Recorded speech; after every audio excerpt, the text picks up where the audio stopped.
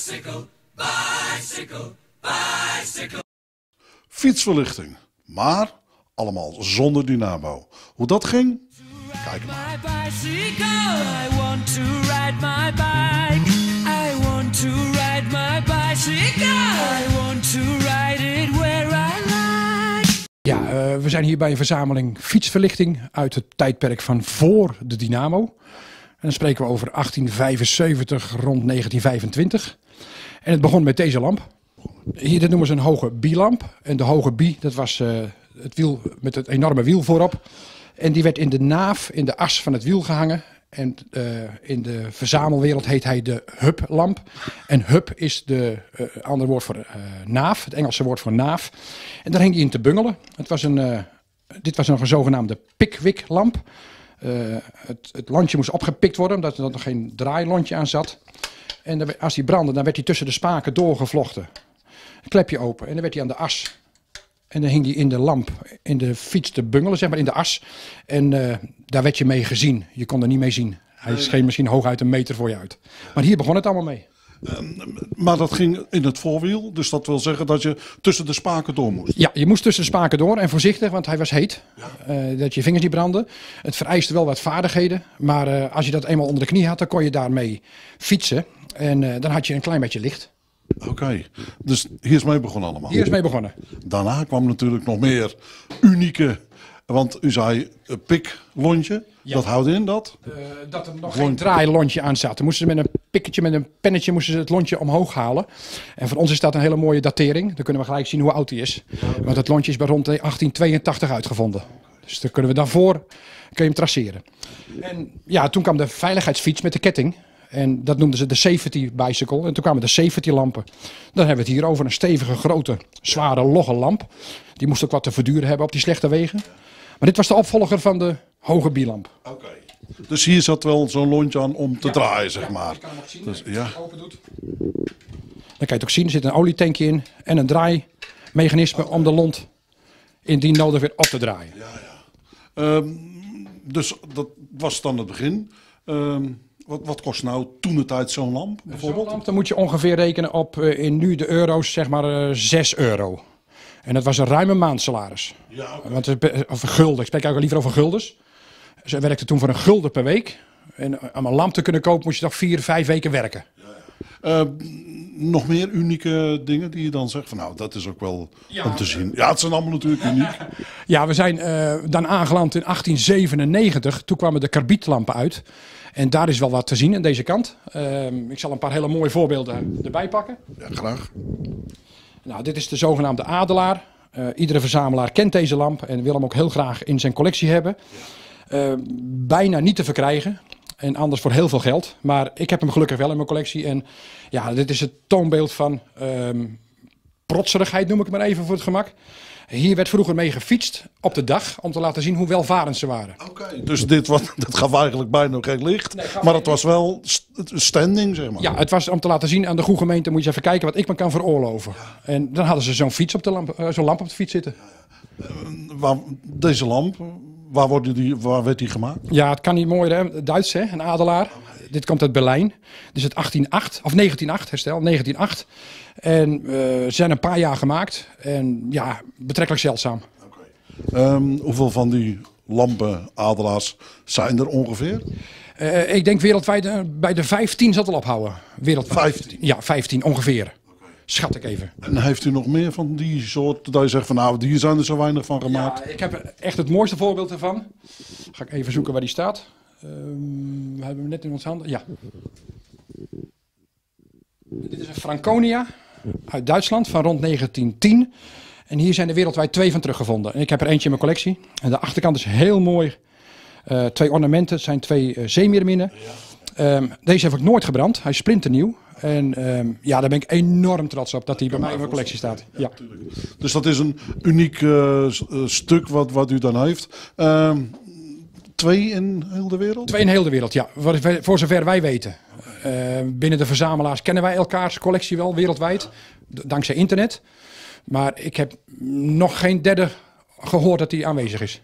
Dus, Eh, verzamelaars, die kennen elkaar. Hoeveel verzamelaars van kabietlampen of lampen in het beginstadium zijn er ongeveer wereldwijd? eh, in Nederland ken ik er een zes die, die echt mee bezig zijn. Maar wereldwijd spreken we over een paar honderd. Ja, ja, we hebben een paar honderd die er echt, echt mee bezig zijn. Die daar eh, alleen dit specifiek verzamelen. Het pre-dynamo-tijdperk. Ehm, wij, wij zijn natuurlijk Nederland, fietsland.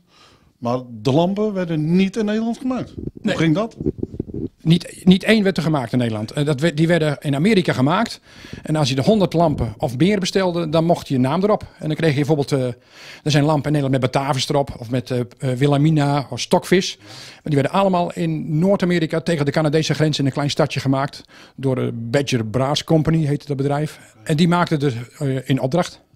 En dan, die lamp die werd dan naar Nederland toegestuurd en dat werd dan op de fiets of gemonteerd. Ja, daar werd dan, eh, die kwam in kratten binnen in Rotterdam. En die werden dan gedistribueerd onder de fietsenmakers. Dus, eh, maar ik wil nog een hele mooie lamp laten zien. Heel graag, want daar komen we voor. En dan zijn we ehm, een bijzondere collectie. Ja, dit is eh, een grapje van de, de Niche Parijs fabriek. Ehm, voor zover ik weet zijn er ook maar twee bekend. Dat is ook heel zeldzaam. Ik heb hem in hele slechte staat kunnen kopen en laten restaureren. Maar het is een combinatie van een toeter en een lantaarn. Er is een klein olietankje in. En als je dan brandde, deed je deurtje dicht. En dan kon de hitte via het schoorsteentje aan de zijkant eruit. Maar je kon er ook mee toeteren. En het geluid ging dan via de zijkant eruit, dan zou de vlam uitwaaien. En dan zat er de stuurstang gemonteerd. Dus je had iets heel bijzonders als je dit op de fiets had. Nou, dat kan, maar, nou, ik vind sowieso alles wel bijzonder, maar, maar dit is bijzonder. Ja, Ja, het, het mooie van dat gebeuren. Maar ik zie ook een eh, olielampje. Wat, eh, bekende stormlantaarn. Dit is de Feuerhand, heet dat.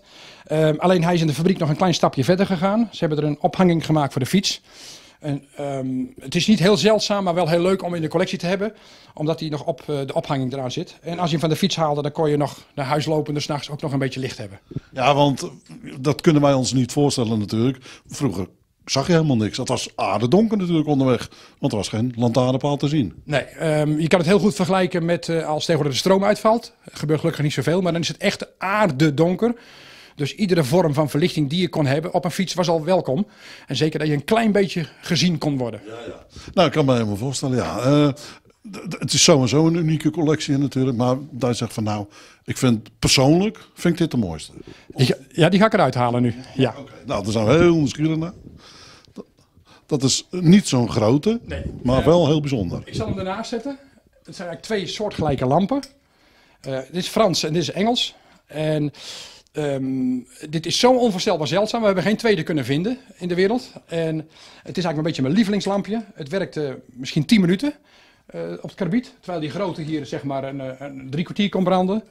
Maar het, is, ja, het systeem kon uit elkaar gehaald worden. En het, je kon het op de fiets monteren. En dan had je 10 minuten licht. Maar dit is, mijn, dit is mijn favoriete lampje. Hier ben ik zo onvoorstelbaar blij mee. Ja. En ik doe het niet meer weg ook. Nee, maar dat is maar eentje, eentje eh, in de wereld. Eh, voor zover ik weet hebben we geen tweede kunnen vinden, wereldwijd. Met eh, verzamelaars gegevens uitgewisseld. Wel in die formaat, maar niet in dat kleine formaat. Karbiet, ja, wij- wij, kennen natuurlijk het karbietschieten. eh kennen we dan natuurlijk wel, maar karbietlampen, hoe lang hebben die bestaan? Eh, van 1897 tot rond 1925. Die periode moet je rekenen.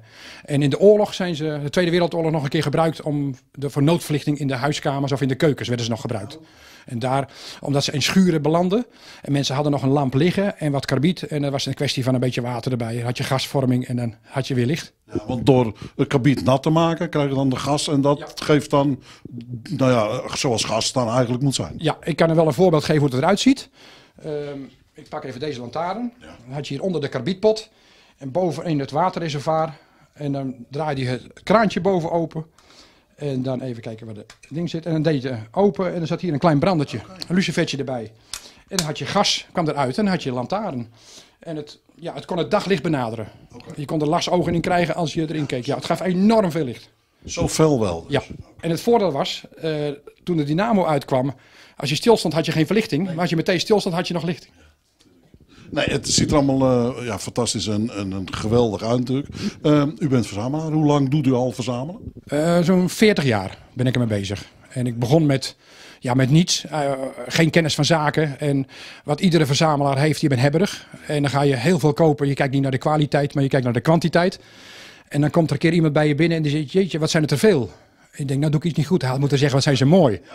En toen ben ik de zaak overhoop gaan halen en gezegd, nou, toen is internet gekomen. Toen is een hele nieuwe wereld voor me open gegaan. En al heel snel heb ik via veilingsites mooie dingen kunnen kopen. En dan ga je echt schiften van dat kan weg en dat wil ik bewaren. En dit is ontstaan zo. Want, eh, eh, want hoe kan je dan zien bijvoorbeeld eh, dat het een verkeerde keuze is die je gemaakt hebt? De zeldzaamheid, dat is ook weer de- het leerproces. Ehm, je, ik heb ook wel eens een lamp gekocht, dat was een zogenaamd huwelijk. Van twee verschillende lampen hadden ze er één gemaakt. Een slecht huwelijk dus.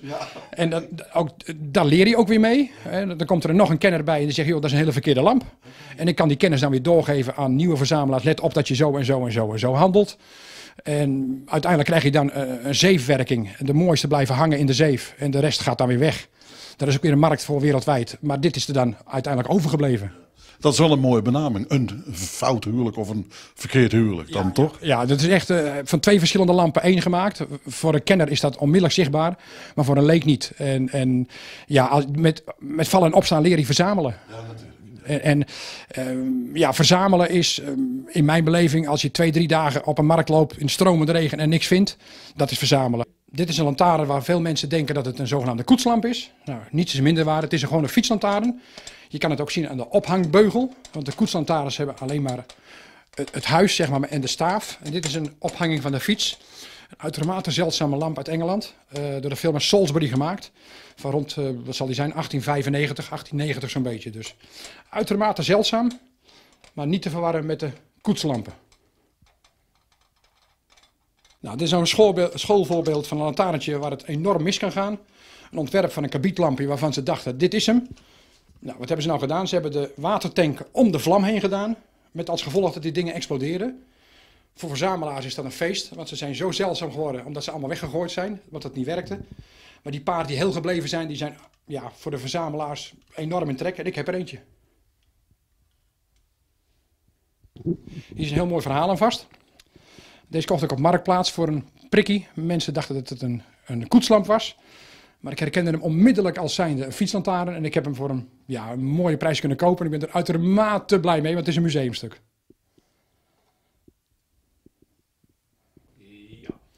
Hier heb ik een Amerikaanse kabietlamp, de Dupy. Ehm, uitermate zeldzaam. In prachtige staat. En het leuke is, hij is genummerd aan de onderkant. Hij heeft als nummer 274. En er zijn er vijf wereldwijd teruggevonden. En in een boek ook genoteerd. En waaronder dit nummer ook, die 274. Enorm trots op. Nou, dit is een Duitse karbietlamp, de Radsonne. En deze is een zogenaamde combilamp, een karbietlamp. Met als onderzijde nog een keer een, speciaal olietankje. Dus mocht je zonder brandstof zitten, dan kan je omschakelen van karbiet naar olie. Dan had je in ieder geval nog brandstof om thuis te komen. Eh, deze lamp vond ik op Marktplaats. En alle lampen van origine, de karbietlampen, horen vernikkeld te zijn. En deze was helemaal ontnikkeld, glimmend koper. En ik belde de man op en ik vroeg om de prijs van die lamp. En hij zei, vind je mooi? Ik zeg, nou, wat ik zo jammer vind, het nikkel is eraf. Hij zei, beste man, ik ben dagen bezig geweest om het nikkel eraf te halen. Ik vind het zo mooi, dat koper. Ik zei, nou, je moet het vergelijken met een hele dure postzegel dat je de kartelrand eraf geknipt hebt. Ik zeg, maar we hebben er een oplossing voor met oude guldens, nikkel hem opnieuw. Dus hij is opnieuw in het nikkelbad gegaan en hij is in oude staat hersteld. Nou, hier heb ik ook een hele bijzondere lamp. Een, eh, een dameslantaarn. Hier fietsen de dames vroeger mee rond in eh, met name parken en dergelijke. U moet zich voorstellen als al die kristallen die hierop zitten, als die s'nachts oplichten, wat een prachtig spektakel het was. En, eh, en de manier van ophanging ook. Speciale beugelveer om hem ja, het mooiste effect te geven. I want to ride my bicycle.